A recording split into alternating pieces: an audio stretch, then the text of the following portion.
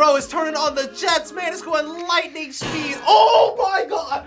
No, no, no. He just fully nut tackled a post. Man has the break. Goalkeeper. It's a wide open goal. Don't tell me you're gonna miss it. That might be the biggest fail. Like, that is the easiest shot in the entire world. Soccer players going easy to the goalie, and the goalie just lets it slip right through. All right.